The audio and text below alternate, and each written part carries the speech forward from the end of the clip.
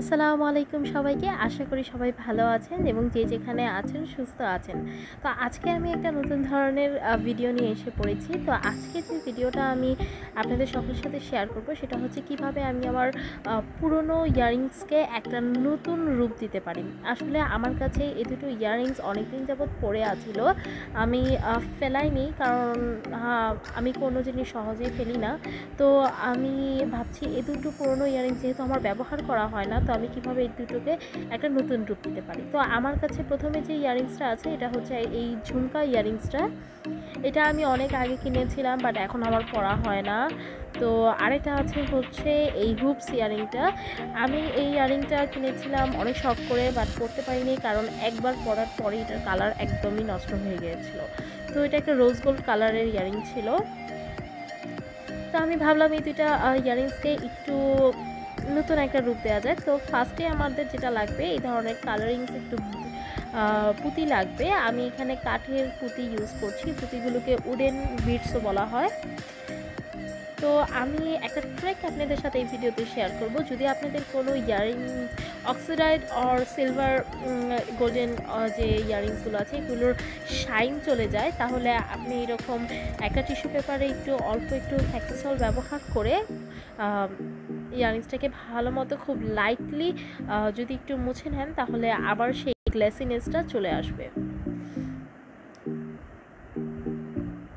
তো প্রথমে আমি এখানে ইয়ারিংসটা বানানোর জন্য কালারগুলোকে আলাদা করে নিচ্ছি বিটসের যাতে আমার ইজি হয় কম্বাইন করতে জিনিসটা।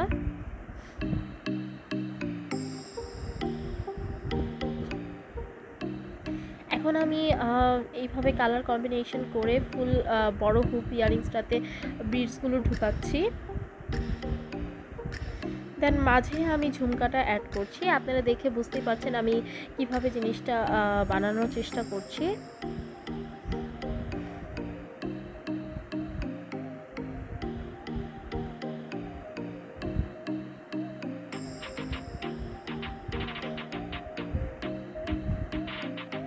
সো ফাইনালি আমার এই ফার্স্ট ইয়ারিংটা বানানো শেষ।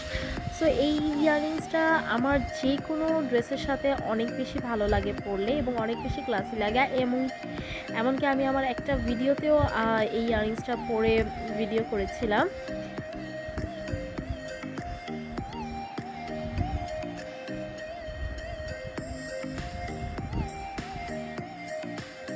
তো এই হচ্ছে আমার ইয়ারিংসের ক্লোজ আপ একটা লুক আমি আপনাদের দেখিয়ে দিচ্ছি।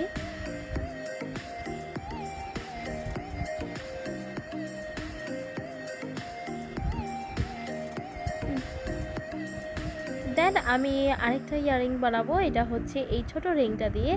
আর এখন তো যেহেতু পালস ইয়ারিংয়ের অনেক বেশি চল চলছে। তো আমি ভাবলাম যে পার্লকেই ইউজ করে এই ইয়ারিংসটা বানাই এবং এটা একটা রেগুলার ওয়ারেবেলের জন্য পারফেক্ট একটা ইয়ারিং হবে এবং এটাও অনেক বেশি সুন্দর লাগে যে কোনো জামার সাথে পরলে।